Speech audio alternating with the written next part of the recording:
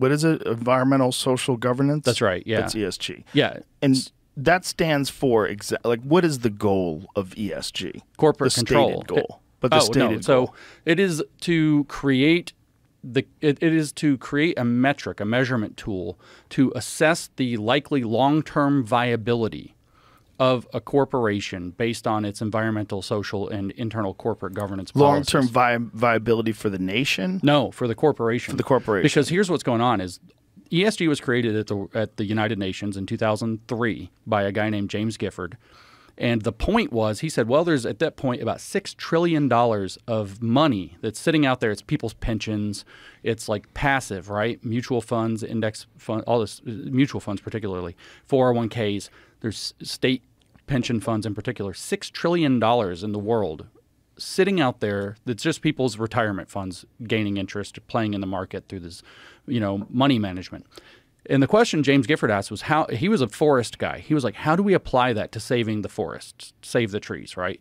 And so he came up with this idea that if we had environmental assessments, anytime you have a metric, you can use that metric in some way or another. In other words, or you can game that metric. If we had metrics to say, well, how environmentally compliant are companies? Like kind of an extension of corporate social responsibility, they used to call it.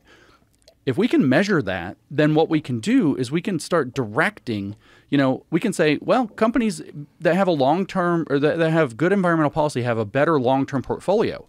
But these are 30 year investments because they're people's pensions. So that's long term success that we're interested in, not boom and bust cycles in the market. So the, the stated ambition not just to do what I said, but is specifically to do that to bring that passively invested money into what they call impact investing. In other words, to do activism with investor money by investing in, you know, ener- green energy companies or green other environmental companies or socially just companies, or you know, companies with good governance. And in principle, at least the good governance thing should work. But the thing is, is corruption exists. I don't know how they neglected to account for that if we give them all the credit in the world. So, like right now, it's super corrupt. I just did a podcast about this where I had this document. It's not like some mysterious document. It's on the Harvard website where they're talking about corporate bonuses, right? So it's Harvard corporate law website document, and they're talking about corporate bonuses and the corporate bonus structure, and that your governance score, your E, your ESG score, so the G part will go up if you give corporate bonuses to yourself for implementing ESG. That's just naked corruption, right? And so that so they can come in and say, well, you want to go to ESG score, and they can make that important or whatever. I guess they have made that very important because everybody's doing it.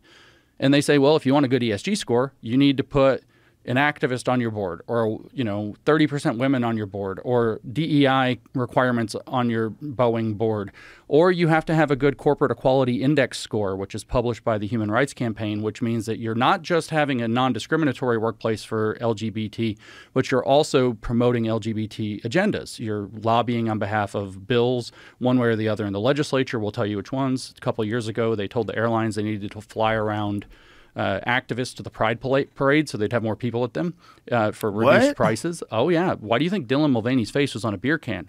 The whole fallout of the Dylan Mulvaney explosion at Bud Light, all of it was about the CEI score because then the Human Rights Campaign came out and said, well, you didn't stand up for Dylan, so we're going to lower your score anyway. And they were like, oh no. And then everything got all tossed up. That These numbers mean a lot to people.